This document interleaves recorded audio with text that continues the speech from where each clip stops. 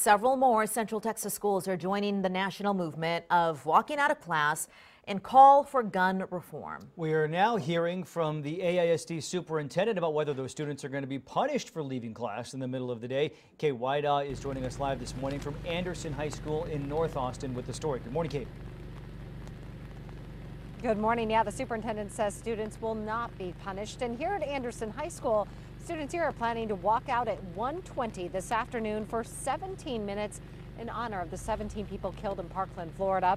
Now, earlier this week, about 100 students at Small Middle School in Austin staged a walkout.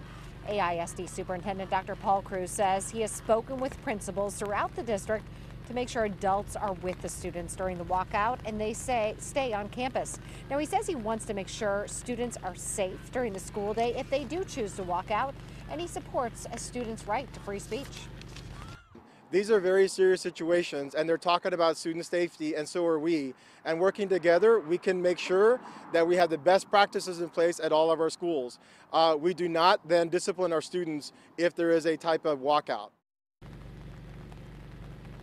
And students at Bailey Middle School also planning to hold a walkout today. The principal there sending home a letter to parents yesterday stating that they were in fact aware that a walkout was planned and they wanted to give uh, parents really a chance to talk to their kiddos about this walkout before it actually happened.